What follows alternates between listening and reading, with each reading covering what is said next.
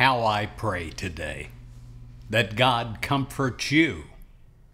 It says in Psalms 119, verse 76, Let your steadfast love become my comfort, according to your promise. Well, it is a promise of God to comfort you, and God will comfort you every single time. God will comfort you and absolutely fill you with a tranquility.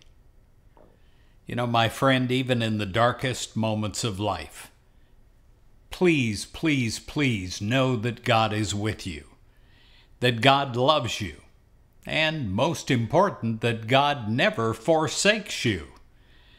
Know that God is your loving parent, your best friend, your most trusted confidant, and as such, it will be the comfort that you seek, no matter what you're going through.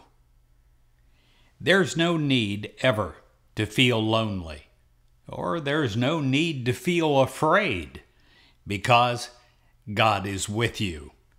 No problem is too large or too insignificant for God. Don't ever make the mistake that some have made that they'll only say big things to take to God. No, go to God with everything.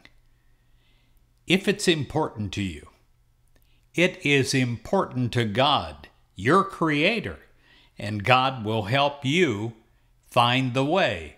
And together with God, you will find the way.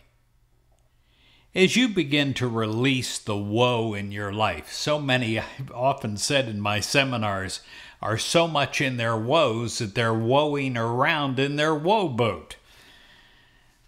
Well, with God, you can let go of insecurity.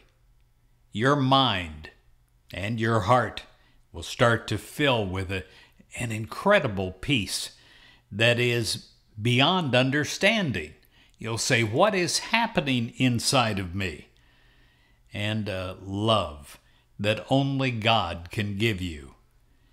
Lingering a while in this incredible sacred atmosphere, you are comforted directly by God.